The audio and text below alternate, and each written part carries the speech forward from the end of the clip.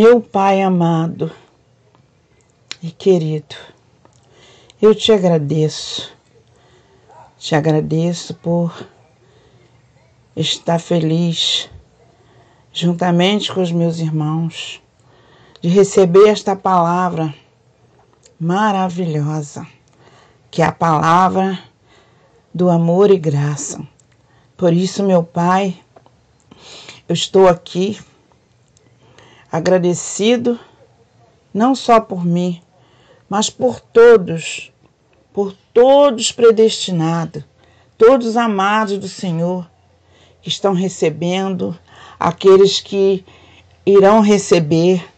Neste momento, peço pelo irmão André, que ele seja conduzido pelo Senhor que cada palavra que sai dos lábios dele venha ser dirigida pelo Espírito Santo, que vem fazer com que cada pessoa, cada abençoado, cada irmão que já esteja ouvindo, aqueles que estão chegando, que eles venham receber esta palavra e que venham cair as escamas, que venham fazer com que eles compreenda, enxergue e ouça espiritualmente falando. Assim, meu Pai, eu te agradeço. Te agradeço por tudo, Senhor. Te agradeço pela nossa vida. Te agradeço por nos dar esta graça maravilhosa que nós estamos cada dia crescendo de glória em glória. Graças a Deus.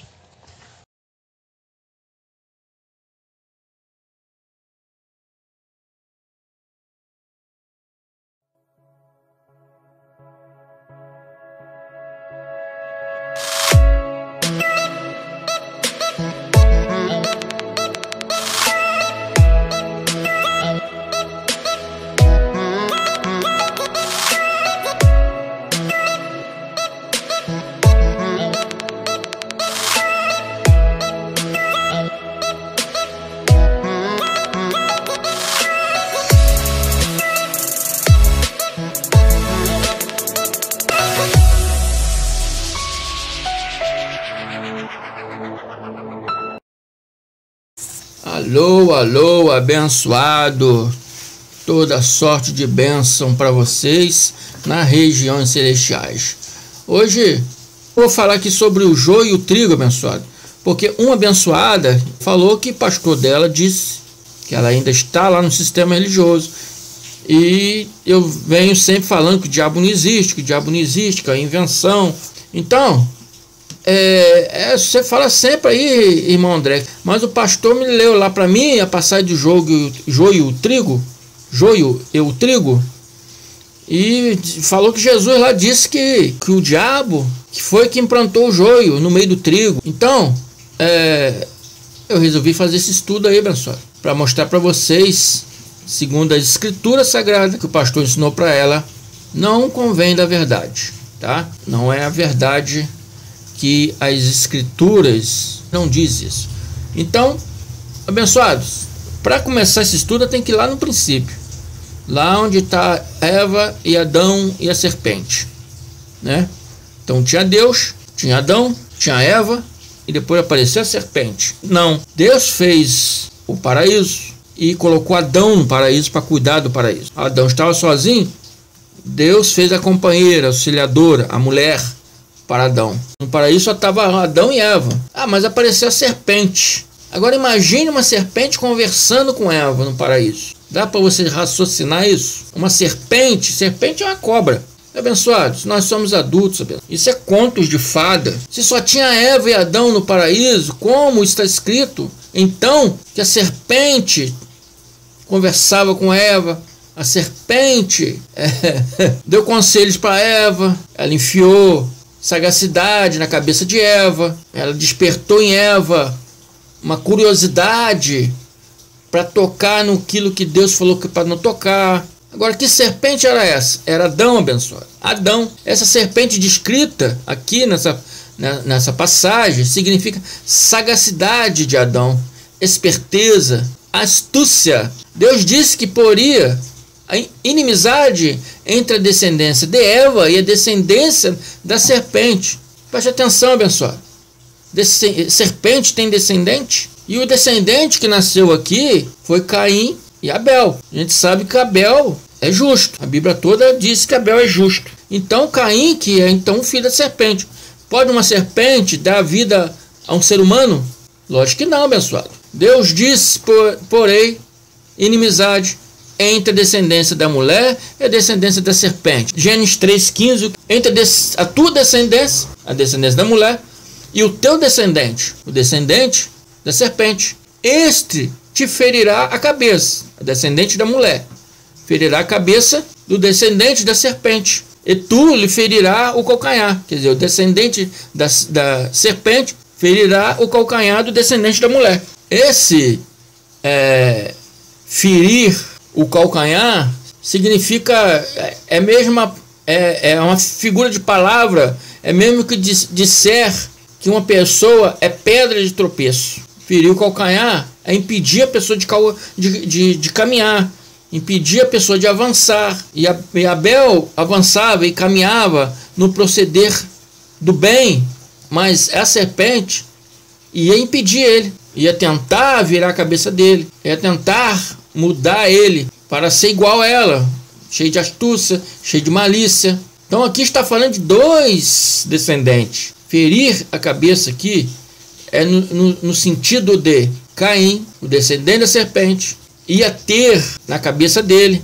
ciúme, inveja. O que, que Deus fala em Gênesis 4, 6? Por que andas irado e por que decaiu seu semblante? Por causa disso, do ciúme do irmão, de ver o irmão proceder para o bem e ele não poder fazer isso, ele não conseguir, porque ele vem de uma descendência já caída. Caim, que foi o descendente da serpente ferir a cabeça de Caim com furor, com raiva, com ira, com ciúmes, porque Abel era justo e Caim ia ter todos esses malefícios contra o irmão. Gênesis 4:1 diz: coabitou Adão com Eva. Quem coabitou com Eva? A serpente? Não. Coabitou Adão com Eva, sua mulher. E essa concedeu e deu a luz a Caim. Então Caim é filho de quem? Adão, não da serpente. então quando fala serpente, Está dizendo a sagacidade de Adão. Adão foi tinha muita sagacidade, tinha muita esperteza. Porque quando Deus perguntou a ele o que fizeste, ele falou: A mulher que tu me deste. Ele apontou, ele acusou. Isso é diabo, acusou. A mulher que tu me deste. Acusador. Não é um, um diabo, uma criatura, mas uma palavra. É uma figura de palavra. Então Deus falou com a mulher: O que fizeste? A mulher, a serpente mandou que eu comer, eu comi. Então, abençoados, é uma figura de palavra. Então, Caim era o descendente da serpente, ou seja, da astúcia, da sagacidade do Adão, seu pai. Caim herdou a malignidade implantada no mundo por Adão, seu pai. A Bíblia diz que reinou a morte, o pecado, desde Adão até Moisés, porque Adão foi o pai, o pai da carne, né? Na carne somos filhos de Adão, no espírito somos filhos de Deus. O primeiro Adão era alma vivente, o segundo Adão, Jesus Cristo, é espírito vivificado, vivificador. João 3, 11, 12 diz: 11. Porque esta é a mensagem que ouviste desde o princípio, que nos amemos uns aos outros. 12. Não como Caim, que era do maligno, e matou seu irmão. E por que causa o matou? porque as suas obras eram más e as do seu irmão eram justas. Caim era do maligno, descendente da astúcia, esperteza, malignidade, da sagacidade de seu pai Adão, nascendo assim o joio. E quando nasceu Abel, nasceu o trigo, ou seja, os filhos da carne e os filhos do espírito. Os descendentes da serpente espalhou no mundo. O joio, os filhos da carne, os filhos da perdição. Quando Eva teve outro filho, chamado Sete, que ficou no lugar de, de Abel, né? porque Abel foi assassinado pelo irmão. Então, Sete veio com o mesmo, o mesmo coração de Abel, ou seja, o coração justo. Assim como Abel foi justo, Sete foi justo. E da descendência de Sete veio os filhos do trigo, os filhos do bem, do Espírito.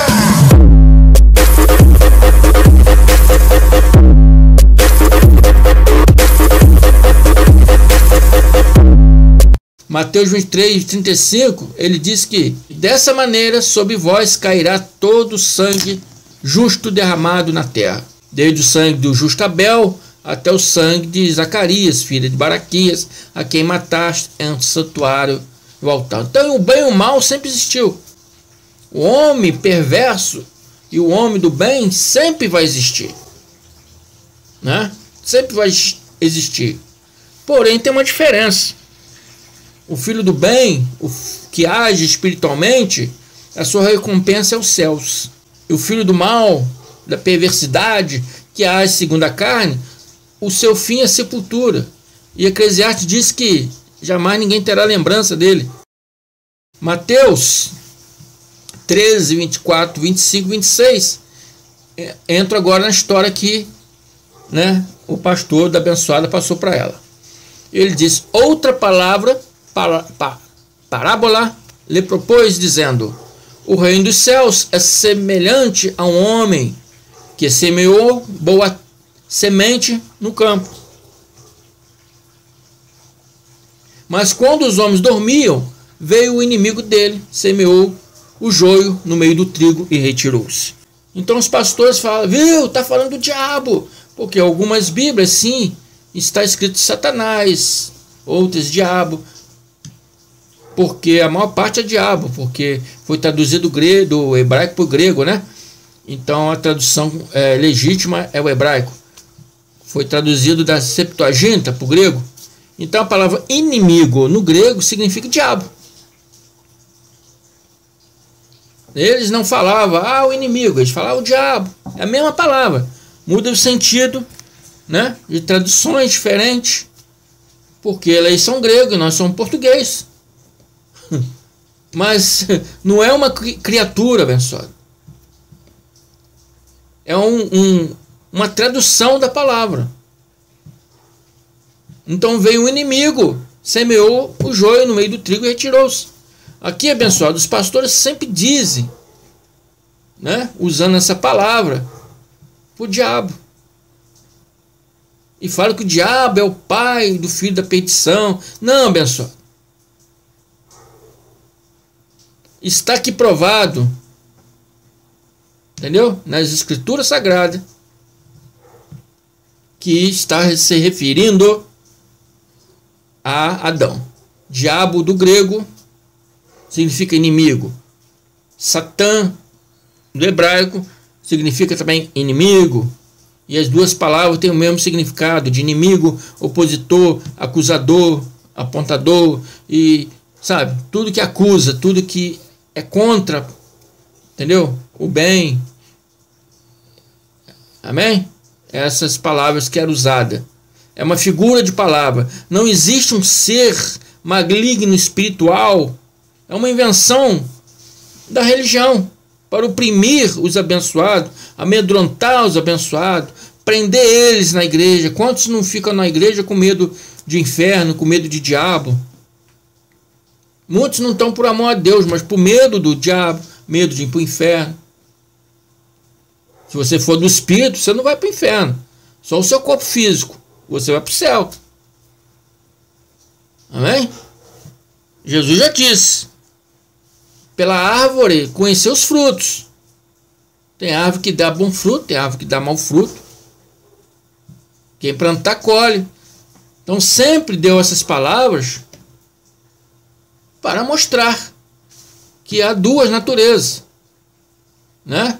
Os filhos da carne, os filhos da perdição e os filhos do espírito. Mas essa descendência maligna veio de Adão, porque reinou a morte desde Adão até Moisés.